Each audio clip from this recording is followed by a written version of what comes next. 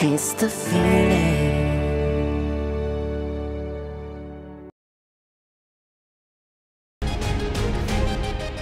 What are you going to make the audience feel? Something true.